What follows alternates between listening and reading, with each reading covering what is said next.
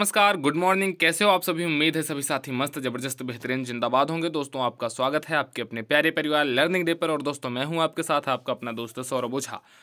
Polytechnic odd semester, जिसमें कि first semester, third semester और फिफ्थ सेमेस्टर आता है, इनके ऑड सेमेस्टर क्या होंगे? न्यू एग्ज़ाम डेट क्या है? क्या आपका जो एग्ज़ाम है वो जनवरी में होगा? इसी से रिलेटेड एक बहुत बड़ी अपडेट आई है और उसी के बारे में हम आपके सामने एक छोटा सा वीडियो लेकर के हाजिर हैं, ताकि आप तक सबसे सटीक, सबसे बेहतरीन एनालिसिस का वीडियो पहुँचता रहे। तो दोस्तों, जो साथी पहली बार लर्निंग डे से जुड़ रहे हैं, उनसे रिक्वेस्ट है चैनल को ज़रूर सब्सक्राइब करें। पॉलिटेक्निक फ़र्स्ट सेमेस्टर की डेली शाम को नौ बजे एक बढ़िया क्लास आपको मिलती है रिकॉर्डेड फॉर्म में। उसको ज़रूर आप देखें। उसमें आपको बहुत सारी अच्छी अच्छी चीज़ें उस क्लास से देखने को मिलेंगी। तो आ जाइए दोस्तों, आज के इस वीडियो में देखते हैं कि हम न्यू एग्ज़ाम डेट क्या है first semester third semester fifth semester और कब से होगा सेमेस्टर एग्ज़ाम पूरा का पूरा क्लियर आज आपको इस वीडियो के बाद होने वाला है। मैं आपको एक न्यूज़पेपर की कटिंग पर ले चलता हूँ। इस न्यूज़पेपर की कटिंग में सीधे सीधे ऊपर लिखा गया है कि बीसम सेमेस्टर परीक्षा फिर स्थगित पॉलिटेक्निक हेडलाइन दी गई है। लखनऊ से प्रकाशित है और कार्यालय संवाददाता के द्वारा ये आपका न्यूज़ इस न्यूज़पेपर में प्रिंट हुआ है। अब ये न्यूज़पेपर कौन सा है? थोड़ा सा इस पर अभी सस्पेक्टेड है, थोड़ा सा हाँ हालाँकि मेरे को मुझे क्लियर है, मुझे पता है, लेकिन ओपनली मैं किसी न्यूज़पेपर का नाम ऐसे लेने से थोड़ा सा गुरेज कर रहा हूँ। लेकिन हमसे इससे नहीं मतलब हमारा मेन टारगेट ये है कि आखिर ये न्यूज़पेपर कहना क्या चाहता है? आखिर क्या नई अपडेट सच में ऐसी कुछ आई है? तो इसमें दोस्तों, अगर आप थोड़ा सा और नीचे स्क्रॉल करेंगे तो इसमें लिखा गया है कि जनवरी के दूसरे सप्ताह में हो सकती है परीक्षा। जनवरी के दूसरे सप्ताह मतलब जनवरी 2024 के दूसरे सप्ताह का मतलब आप कह सकते हैं कि लगभग 8 जनवरी के आसपास आपका एग्ज़ाम हो सकता है इस पेपर के बेसिस पर अगर आप मानेंगे तो। इसके पहले ये डेट सत्ताईस तारीख रखी गई थी। सत्ताईस तारीख वाले को तो मैंने भी डिनाई किया था कि सत्ताईस से मुझे मुश्किल लग रहा कि एग्ज़ाम होगा। हालाँकि बहुत ज़्यादा कुछ स्पष्टीकरण इसका नहीं आ पाया। बोर्ड कुछ नोटिस नहीं दिया क्लियर इसीलिए सत्ताईस और अट्ठाईस वाले एग्ज़ाम के जो आपके पास बहुत सारे शेड्यूल टहल रहे थे, एक दिन मैंने उस पर वीडियो भी बनाया था कि हाँ वो सही है या गलत है। लेकिन उसके बाद फिर थोड़ा सा ये जब पेपर की कटिंग आई मेरे पास घूमते हुए तो ये जो मेन कोटेशन है, जनवरी के दूसरे सप्ताह में हो सकता है एग्ज़ाम ये देखने के बाद मुझे लगा कि हाँ जनवरी में एग्ज़ाम आपके हो सकते हैं। मैंने पहले भी आपको बताया था कि लगभग पाँच से दस जनवरी के बीच में आपके एग्ज़ाम हो सकते हैं। ये बात अगर आपको देखनी है कि मैंने कब कहा था पाँच से दस जनवरी के बीच में तो जब स्टार्टिंग में एक बोर्ड ने एक नोटिस दिया था कि आपका प्रैक्टिकल से रिलेटेड तभी मैंने बताया था कि लगभग पाँच से दस जनवरी के बीच में आपका एग्ज़ाम हो सकता है। इसमें दोस्तों, अगर आप थोड़ा सा देखेंगे, इस साइड में तो लिखा गया है कि प्राविधिक शिक्षा परिषद पॉलिटेक्निक परीक्षा की तिथि तय नहीं कर पा रहा है। विषम सेमेस्टर की परीक्षा दूसरी बार स्थगित कर दी गई है और ऐसा हो क्यों रहा है, ये भी इस पेपर में बताया गया है।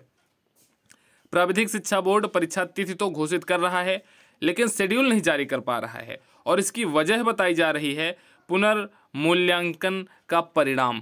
पुनर्मूल्यांकन का मतलब जैसे अगर आपको किसी भी पेपर में आपको पंद्रह नंबर दे दिए गए और आप उस नंबर से सेटिस्फाई नहीं हैं तो आप उसको क्लेम करते हैं। तो बोर्ड फिर से आपकी कापी चेक करता है और फिर से आपका रिज़ल्ट घोषित किया जाता है, उसी को बोला जाता है पुनर्मूल्यांकन। तो उसका जो रिज़ल्ट है, वो बोर्ड नहीं घोषित कर पा रहा है। इसका क्या कारण है? इसका कारण है, आपको ये मिल जाएगा इस तरफ़ की पुनर्मूल्यांकन रिज़ल्ट आधा ही आया है। आधे बच्चों का रिज़ल्ट आ ही नहीं पाया है पुनर्मूल्यांकन का। इसी वजह से जो पॉलिटेक्निक और सेमेस्टर का आपका एग्ज़ाम है, उसको जनवरी के दूसरे सप्ताह तक शिफ्ट किया जा सकता है। दूसरी के, जनवरी के दूसरे सप्ताह में आपका एग्ज़ाम हो सकता है। लेकिन दोस्तों मैं इन सारी चीज़ों के साथ साथ आपसे एक चीज़ ये भी बोलूँगा कि अभी आपको अपनी तैयारी बिल्कुल वैसे ही रखनी है, जैसे आपका एग्ज़ाम 28 तारीख या 27 तारीख से है। ऐसा करने से फ़ायदा क्या होगा कि आपको जो पाँच से दस दिन का एक्स्ट्रा टाइम मिलेगा, इसमें आप अपना एक्स्ट्रा एफर्ट लगा सकते हैं और तैयारी को और अच्छा मज़बूत बना सकते हैं। फ़र्स्ट सेमेस्टर वाले बच्चों को तो टेंशन लेने की ज़रूरत नहीं है। नीचे डिस्क्रिप्शन में आपको टेलीग्राम इंस्टाग्राम और व्हाट्सएप ग्रुप का आपको लिंक मिल जाएगा, उसको ज़रूर ज्वाइन कर लो। वहाँ पर बहुत सारे बच्चे आपको मिलेंगे। जो क्वेश्चन भी आपको भेजेंगे, आपको आप अगर आप अपना क्वेश्चन भेजेंगे तो आपको सोल्यूशन भी मिलेगा। पीडीएफ नोट्स बाकी और सारी की सारी चीज़ें तो अवेलेबल ऑलरेडी करवाई ही जा रही हैं। तो कुल मिलाकर के आज के इस बोर्ड को अगर आप ध्यान से देखेंगे दोस्तों तो इसमें बताया गया है कि माना जा रहा है कि परीक्षा जनवरी के दूसरे सप्ताह में हो सकती है। करीब दो लाख अस्सी हज़ार स्टूडेंटों को इस बार एग्ज़ाम देना है। बीसम सेमेस्टर का एग्ज़ाम देना है, जिसमें फ़र्स्ट थर्ड फिफ्थ तीनों सेमेस्टर हैं। लगभग दो लाख अस्सी हज़ार छात्र। और बोर्ड ने पहले सत्रह दिसंबर को बताया था, फिर सत्ताईस दिसंबर हुआ, फिर अभी तक कोई एग्जैक्ट डेट क्लियर नहीं हो पाई है। तो कुल मिला इस नोटिस का टारगेट यही है, इस नोटिस का मतलब यही है कि आपकी तिथि जल्दी ही घोषित होगी। ये आप मान के चलिए कि जनवरी का जो दूसरा सप्ताह है, ये बिल्कुल डेडलाइन है। इसके आगे एग्ज़ाम मुझे नहीं लगता कि बढ़ेगा और आपको भी ये नहीं समझना चाहिए कि इसके आगे एग्ज़ाम आपका जाएगा। अब आपको तैयारी हंड्रेड परसेंट इसी को एग्जैक्ट डेट मान के स्टार्ट कर देनी है और बहुत अच्छे तरीके से आपको अब अपनी पढ़ाई में लग जाना है, क्योंकि आपके पास मैक्सिमम से मैक्सिमम दस दिन का टाइम है और इस दस दिन के टाइम पे अगर आप थोड़ा सा भी लूज़ रहते हैं, तब आपके लिए नुकसानदेह हो सकता है। हर एक पेपर का जो क्राइटेरिया होता है, उस क्राइटेरिया से आगे बढ़ के हमें दोस्तों हर एक पेपर में तीस प्लस नंबर करने हैं। फ़र्स्ट सेमेस्टर के बच्चों को तो ऑलरेडी तीस प्लस हो ही जाएगा। डेली शाम को नौ बजे की एक वीडियो देखो आप बहुत अच्छी वीडियो आती है इन्फॉर्मेशनल वीडियो रहती है आपके लिए मॉडल पेपर सारी की सारी चीज़ें इंपॉर्टेंट क्वेश्चन सब दिया जाता है। तो दोस्तों, उम्मीद है आज का ये वीडियो आपको पसंद आया होगा। जो इन्फॉर्मेशन हमने आपके साथ शेयर की, वो आपको अच्छी लगी होगी। अगर अच्छी लगी तो अपने दोस्तों को ज़रूर भेजें चैनल को सब्सक्राइब करें, अपने दोस्तों को शेयर करें और हमें कमेंट सेक्शन में हमें सपोर्ट करने के लिए ज़रूर कुछ ना कुछ लिखें। वीडियो को लाइक ज़रूर करें। नमस्कार, जय Hind. Take care thank you